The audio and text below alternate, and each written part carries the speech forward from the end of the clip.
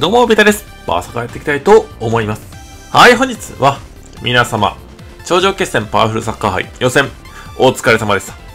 はい。まあ、予選の3日間、4日間、4日間かなうん、終了いたしまして、まあ、なんとか自分は1位を確保することができました。うん。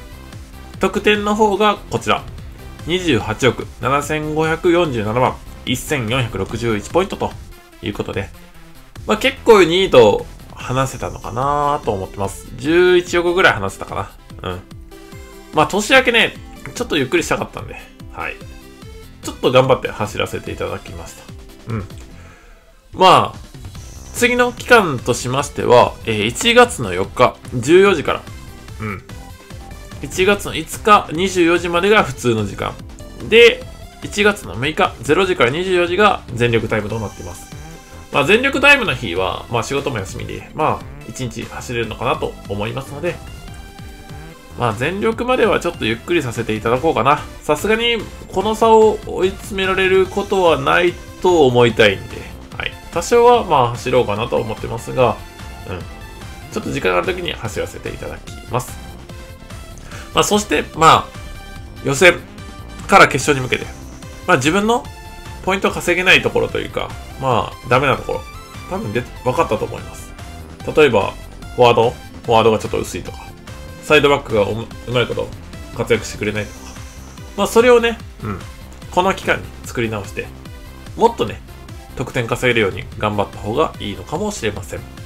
まあ自分的には前も紹介はさせていただきましたが、ベンチ、ベンチをしっかりとして、まあ交代要員でね、なんとか回していくっていう形がいいと思います。まあとりあえずそんなとこかなうん。まあ過去にね、まあ自分のスタジアム周回動画、あとは特攻選手の作り方、特攻選手プラス、まあベンチの作り方ですね。そちらも載せてますので、そちらを参考にしていただけるといいのかなと思っております。そして、まあ今回のイベントね、意外と副産物がでかかったんですよね。えー、っと、その他。まあこの一番上のやつは別として、パワフルサッカー杯の累計報酬で、うん。天才の入部届まで取ってしまったら、スターメダル、ひたすらもらえるんですよ。まあ100なんですけども、1枠2000。で、それが142から3の間あります。なので、28万ぐらいのスターメダル自分もらえてます。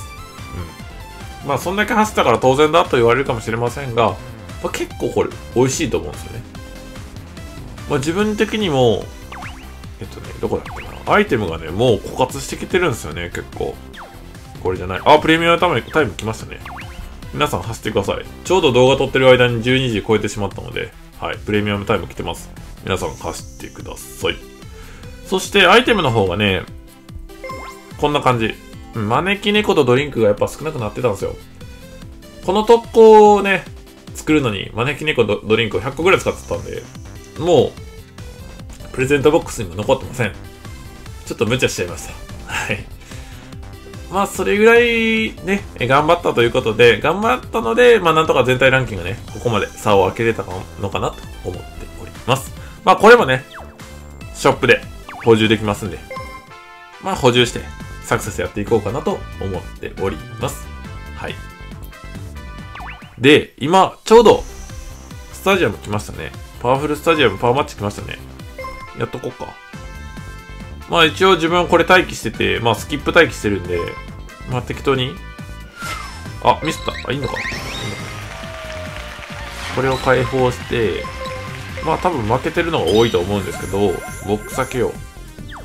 ボックスは4時間に1回回復するんで、皆さんぜひこれは4時間に1回はね、回復しといた方がいいです。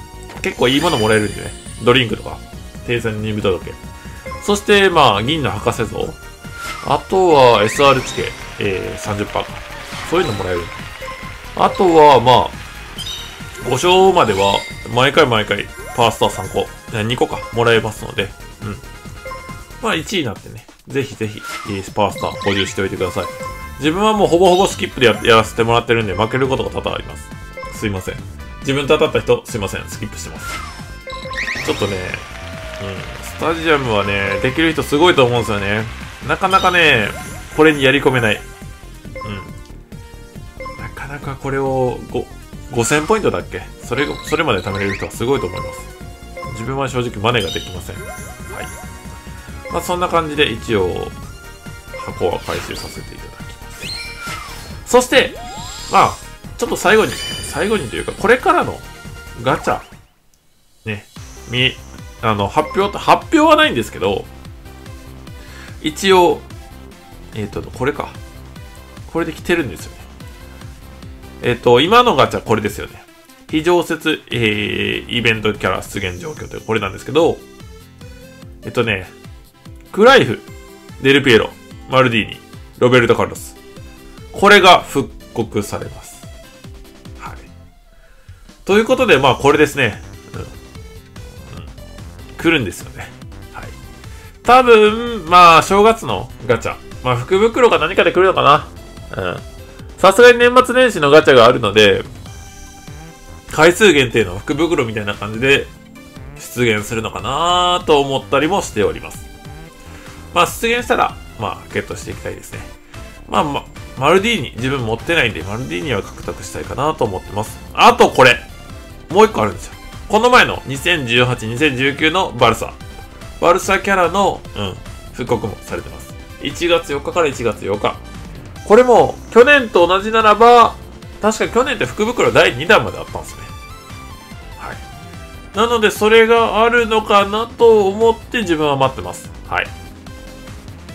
まあ、これが来てるから、来るでしょう。何かしらイベントが来ると思います。なので、自分はこれを待っておきたいと思います。まあ、待って、待つんですけど、まあ、ちょっと、まあ、予告させていただきます。えー、PSR イベントキャラの PSR チケットガチャ。これね、10連させていただこうかなと思ってます。まあ、1月1日はやるつもりはないんですけど、1月2日に動画を上げる予定です。まあ、そこで何体ね、安定するか。新しいキャラでゲットできるか。まあ、できれば、ね、ミネ君、欲しいですね。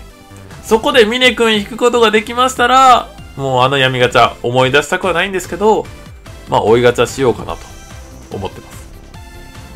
あとは、まあ追いガチャ、うん。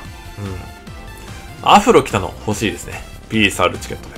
まあそれゲットできれば何回も言いますけども、やっぱり、うん。先人何高校、結構楽になるんですよね。浴衣の颯くん、借りることができるし。うん、自分は SR の、確か、やる気60%のやつを使ってるんで、もっともっと、40%か ?40% かなかなり、いいね、えー、強くなれると思いますので、ぜひとも、アフロ来たの、そしてミネ君。あとはプリンセスのエルちゃんかな。その辺を引いていきたいかなと思っております。で、まあそれぐらいでちょっと変えようと思ってるんですけども、SR のイベキャラチケットも75枚。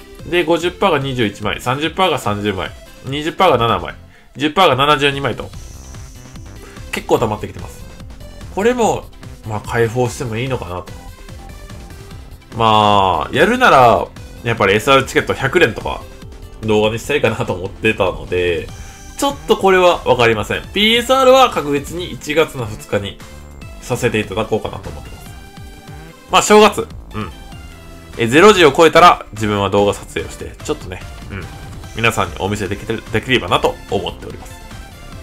はい SR チケットを引いた方がいいですかね結構皆さん貯めない人いるじゃないですか。